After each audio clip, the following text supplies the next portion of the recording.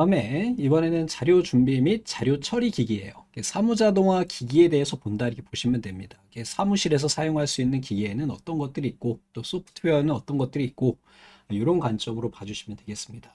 사무자동화 기기라고 하는 거는 뭐예요? 기본적으로 우리가 사무 업무에 도움이 될 수 있는 그런 아이들이 되겠죠. 그래서 사무자동화 기기를 구매하기 위해서는 각각의 특징을 파악해야 되겠고 그 특징으로 이제 상품으로 갖춰야 될 성립될 조건들이 몇 가지가 있어요. 비교되는 기기의 구입 가격이 저렴해야 된다. 똑같은 기능이라면 단돈 1원이라도 싼 게 좋은 거겠죠. 설치 및 유지 보수. 제일 중요한 게 유지 보수예요. 아, 고장이 안 나는 기계는 없어요. 그죠? 예, 고장이 났을 때 바로 빠르게 수리가 가능하느냐에 대한 거죠. 또 설치 면적이 적어야 되겠죠.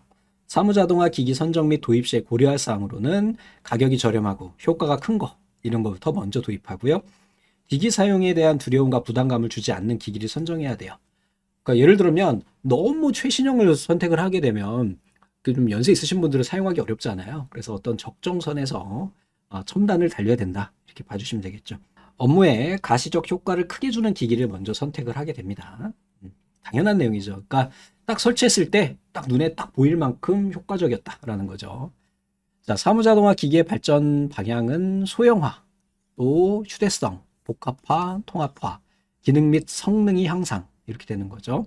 근거리 통신망의 개발로 인해서 사무자동화 기기의 통합이 촉진됐다. 요즘에 뭐 컴퓨터랑 직접 프린터 연결하시나요? 그냥 와이파이로 다 연결하잖아요. 맞습니까? 뭐 다 그렇게 하기 때문에 저희 회사도 마찬가지로 뭐 복합기나 이런 것들이 다 랜 케이블도 연결 안 해요. 다 와이파이로 연결되기 때문에 얼마나 편해요. 정보 처리 유형에 따른 사무자동화 기계 분류에는 자료 준비하는 기기, 처리하는 기기, 전송하는 기기, 저장하는 기기 이렇게 구분이 된다. 우선은 첫 번째 자료 준비 기기는 워드 프로세서나 스프레드시트가 있는 거죠. 워드는 한글 같은 거, 스프레드시트는 엑셀 이런 것이 되겠죠. 어, 요즘에 뭐 한글에서 나오는 한셀도 상당히 좋더라고요. 또 구글 시트로도 우리가 쉽게 편집이 가능하고 워낙 다양한 기능들의 스프레드시트가 많이 나오기 때문에 뭐 요즘에 워낙 예, 선택의 폭이 넓다 이렇게 볼 수가 있겠죠. 자, 스프레드시트에서는 수식, 함수, 차트를 이용을 해서 데이터 처리를 쉽게 할 수 있고요. 또 셀 단위, 셀이죠. 셀 단위로 우리가 작업을 하게 되겠고 행하고 열로 구분이 돼요. 우리가 이제 실기 가서 스프레드시트를 배우시게 되기 때문에 굳이 여기서 뭐 어렵게 볼 필요는 없고요. 그냥 아 엑셀이다 이렇게 보시면 되겠습니다. 셀의 참조 방식, 뭐 절대 참조와 청, 상대 참조가 있다고 이야기를 하는데 이건 나중에 이제 실기에 가서 볼 내용이고요. 반복적이고 규칙적인 대량의 작업을 일괄적으로 자동 처리할 수 있는 기능을 가지고 있어요. 자, 스프레드시트의 분석 기능이 있는데 이게 아주 간혹 출제가 돼요. 우선 피벗 테이블은 기존의 목록이나 표에 있는 데이터를 요약 분석할 수 있는 대화형 테이블을 이야기해요. 피벗이라고 하는 것이 각을 뭐야 뭐라고 이야기해? 돼? 피벗이라고 하는 걸 어, 찾아 사전을 찾아보시면은 각을 회전시키다라는 의미가 있어요. 그래서 기존에는 그냥 단순하게 어떤 값들이 있으면은 이렇게 열 구분으로 구성이 되잖아요. 여기다 뭐 이름, 주소, 성적, 뭐 나이, 뭐 평균 뭐 이런 것들이 있는데 피벗은 얘네를 쪼개가지고 세로로도 이렇게 배열할 수 있어요. 그래서 크로스된 그 값들을 추측할 수 있는 그런 기능입니다. 이 사무자 동화에서는 피벗 테이블이 나오지 않기 때문에 뭐 실제로 많이 보시진 못했을 것 같은데 나중에 이제 커말에 가시면 피벗 테이블을 많이 쓰게 되겠죠. 부분합은 특정 그룹으로 얘네를 그룹을 짓고 그것에 대한 통계를 간단하게 계산할 수 있는 그런 아이예요. 다음에 시나리오하고 목표값 찾기가 있는데 이제 시나리오라고 하는 것과 목표값 찾기의 차이는 뭐냐면 얘는 한 개의 값만 예측할 수 있어요. 한 개 값. 근데 얘는 다수 값을 예측할 수가 있어요. 뭐 간단하게 우리가 사용할 수 있습니다. 나중에 이제 관심 있으시면 컴활 공부해 보신 분들은 이건 뭐 이렇게 글로 봐야 이렇게 이해되고 그런 건 아니고 실제 해보면 어렵지도 않은 기능이고요. 또 함수에 대한 부분도 나오는데 카운트 하니까 뭐가 나요? 이거는 개수를 세요. 대신에 이 a가 붙게 되면 숫자, 문자, 기호를 모두 세요. 그냥 그냥 카운트만 주면 이 카운트라고 하는 함수도 있거든요. 얘는 숫자의 개수만 세요. 숫자 개수만. 자, lookup은 어떤 특정 범위에서 내가 어떤 문자를 쉽게 찾아올 때 사용합니다.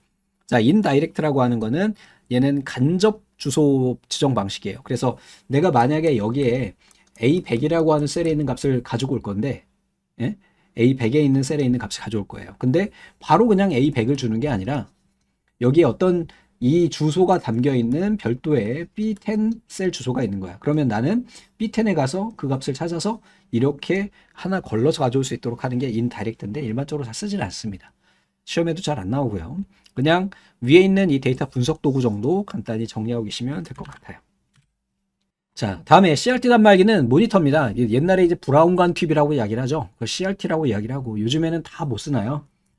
다 이뭐 LCD 쓰시죠. 스마트폰도 마찬가지고 다 액정 화면 쓰죠. 이 액, L이 liquid예요. 액정 화면이라는 의미예요. 자, 다음에 자료 처리 기기의 종류에서 우선은 첫 번째 워드 프로세서가 나오는데 자, 여기 나오는 워드 프로세서랑 우리가 앞에서 봤던 한글 워드 프로세서랑 서로 다른 거예요. 얘는 소프트웨어고요. 얘는 하드웨어입니다. 타자기라고 하세요. 옛날에 우리 타자기 많이 썼는데 이 타자기는 한 번만 우리가 타이핑을 치게 되면 그 종이에 한 번만 기록이 되겠죠. 어, 그러다가 타자기가 발전을 해가지고 글씨를 지울 수 있는 타자기가 나왔어요. 지울 수 있는. 글씨를 지우고 뭐 쓸 수 있는 그런 어, 지울 수 있는 타자기가 나왔고요. 아, 저는 이 발전을 봤습니다. 왜냐하면 저희 누나들이 옛날에 그 상고를 나왔거든요. 그래서 방학 때 되면 이 타자기 시험이 있었죠. 숙제가 있었어. 그 A4 용지 30장 쳐오기 막 이런 거 있었다고 그러면 야 면 내가 라면 끓여줄게 이거 좀 쳐줄래? 막 이러 이래가지고 제가 타자기 그때부터 막 치기 시작했는데 그러다가 좀 있으니까 이게 지울 수 있는 애가 나오더라고요. 그러면서 바로 제가 20대로 넘어가면서 컴퓨터가 나오기 시작했어요. PC가. 그러면서 그 PC로 PC가 너무 비싸다 보니까 그 넘어가기 전에 워드 프로세서라고 그래서 그냥 조그만 액정에 이렇게 액정이 있고요. 타자기가 이렇게 생겼었어. 그래서 여기에 제가 타이핑을 따다다다닥 치면 어 옛날에 이거는 직접 제가 쳐보진 않았고 가게에 가서 봤어요. 어 저런 것도 있네. 여기서 딱 치면은 여기에 가, 나, 다 이렇게 LED에 LED도 아니지 그때는 액정이라고 해요 그냥 흑백 액정에 쓰여져요. 그 다음에 여기서 엔터를 딱 누르면 종이에 두르륵 인쇄가 돼요. 아, 이걸 우리가 워드 프로세서라고 이야기합니다. 그래서 옛날에 사용했던 하다. 아, 지금은 박물관에 가서도 찾기 어렵다. 이렇게 보시면 될 것 같습니다. 자, 사무용 컴퓨터 뭐 설명 안 드려도 다 아실 것 같아요. 따로 말씀 안 드리겠습니다. 개인용 컴퓨터 뭐 살, 설명 안 드릴게요. 그냥 댁내에 있으신 사무실에 있는 컴퓨터를 다 개인용 컴퓨터라고 이야기를 하죠. 자, 워크스테이션은 이런 개인용 컴퓨터보다 훨씬 고성능의 컴퓨터를 워크스테이션이라고 이야기를 해요. 그래서 그냥 간단하게 이야기하면 여러분들 스마트폰이나 아니면은 뭐 컴퓨터는 CPU가 하나밖에 안 달려 있어요. 근데 워크스테이션은 적어도 CPU가 4개 이상 달려 있어요. 여러분 댁 내에 있는 똑같은 CPU가 4개 이상 달려 있는 고성능 컴퓨터다라고 보시면 됩니다. 얘 같은 경우는 뭐 할 때 쓰나 요즘에 데이터 분석할 때 많이 씁니다. 또는 어 제가 그 영화 보면서 제일 충격받았던 게 반지의 제왕이었거든요. 그 그래픽 어마어마하잖아요. 지금 보면 좀 어설픈데 그때 당시에 반지의 제왕을 보면서 정말 와 어떻게 저렇게 하지? 라고 했었는데 당시에 이 컴퓨터 그래픽을 하기 위해서 약 400대의 워크스테이션이 동원이 됐대요. 어, 근데 그만큼 뽑아서 다행이지 안 그랬으면 어떡할 뻔했어. 그래서 그래픽 처리를 할 때. 근데 지금 여러분 댁내에 있는 최신형 컴퓨터가 그 워크스테이션 400대 정도의 성능을 합니다. 예, 기술의 발전이 굉장히 빠른 거죠. 음.